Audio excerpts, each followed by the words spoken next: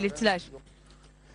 Engellilerin günlük hayata adapte olması ve sosyalleşmesi amacıyla 2012 yılında Alanya Belediyesi tarafından kurulan Engelsiz Park ve Yaşam Merkezi'nde görme engelliler için oluşturulan ücretsiz kursta okuma yazma eğitiminin yanı sıra sesli ve dokunsal komutlarla çalışan bilgisayarlarda teknoloji ve bilgisayar dersi de veriliyor.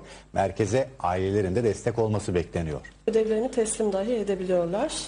Dolayısıyla eğitimde engel yok, eğitimde sınır yok.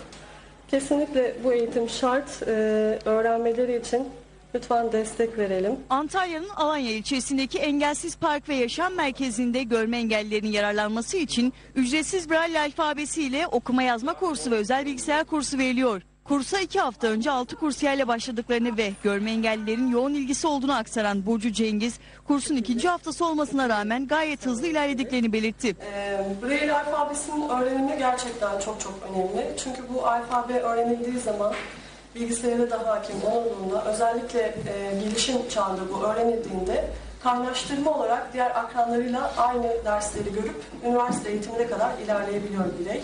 Merkezde görme engelliler için özel dizayn edilen atölyede görme engelli bilgisayarı, görme engelli yazıcı, engelli oyun grubu, görme engelli satranç bölümü bulunuyor. Ee, öğrencilerimiz var. Şu anda okuma yazma eğitimini tamamladı. Kaynaştırmaya devam ediyorlar üç öğrencimiz. Birisi lisede, ikisi ilk öğretimde. Çok da güzel devam ediyor dersleri.